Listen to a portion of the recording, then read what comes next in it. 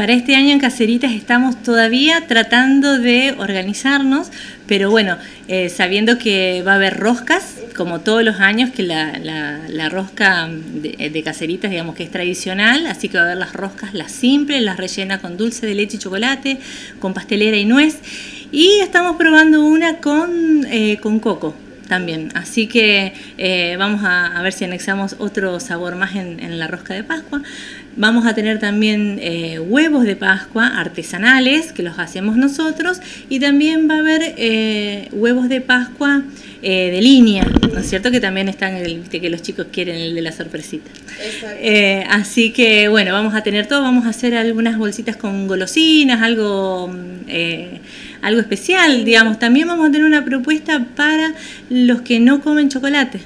Eh, algo, alguna masita decoradita o si no los queremos eh, cargar a los chicos eh, con demasiados chocolates, también hay unas propuestas re lindas en masitas decoraditas para por ahí los más chiquititos que no comen chocolate también o los abuelos generalmente que no quieren cargar de chocolate a los chicos. y después vamos a tener también todos los postres como siempre, las masas finas. Eh, ¿Y qué más me está Ah, bueno, y la rosca, la rosca gigante, las dos roscas gigantes de, de, todos los años, una para los clientes y la otra es una rosca solidaria que también vamos a volver otra vez con la casa de Mateo Esquivo.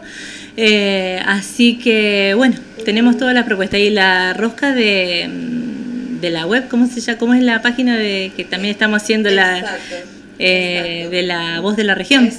Bueno, que también estamos ahí con, un, con una rosca de sorteo.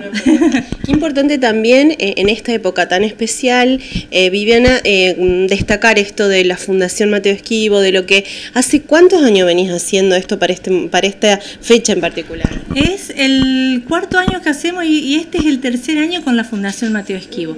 y la verdad que yo sé que en este momento todos, digamos, que, que, no nos sobra demasiado y por ahí, qué sé yo, la colaboración, pero por ahí no necesita ser mucho, porque, pero qué sé yo, es un gesto eh, y algo que es un, algo que nosotros damos de corazón eh, y no es lo que nos sobra, sino realmente algo que, que, nos cuesta.